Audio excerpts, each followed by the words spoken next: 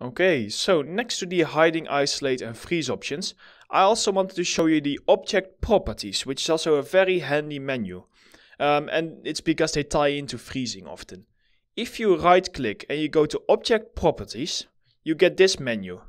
Now this menu is very handy. In here what you can do is you can do stuff like uh, turning on hiding or turning on freezing. So if I would go for freeze and press OK, it is now frozen.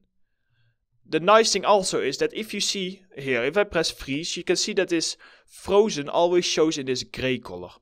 If you do not want that, for example, you have an image or you have a texture on here and you still want to freeze it, you can simply turn off show frozen in gray and then freeze it and that will basically keep the same color or texture if you for example have a texture on here and it will just keep it on here. So let me just unfreeze all. Now, um, next is something another thing that I use is the see-through. See-through is basically X-ray, but uh, we will go over this later on. This will make sure that you can see through it, or you can use your shortcut Alt-X for this. But don't worry, I will go over this later on, so um, that's one I will not cover right now.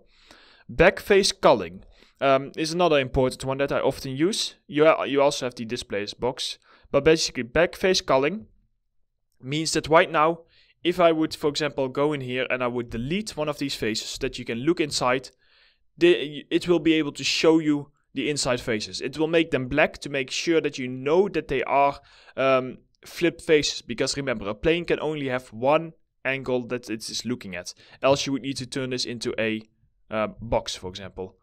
But um, for this case, what we can do with the backface culling, if I turn this on and I delete the face, it will show it uh, almost as if in a game engine. In a game engine, you often see this, where it will simply not show that face to indicate to you that there is no faces there.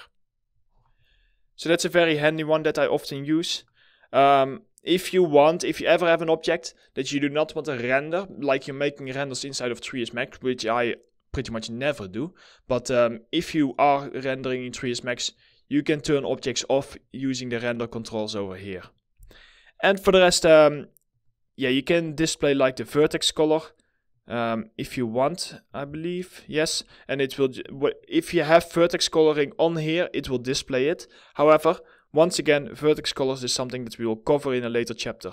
Everything is kind of like overlapping always, so I kind of like need to uh, go back and forth. Uh, these other things I never use, so I'm not going to try and explain to you what they are because I've never in my life used them, um, which means that probably for my job they're also not really needed. So that is about it for the object properties.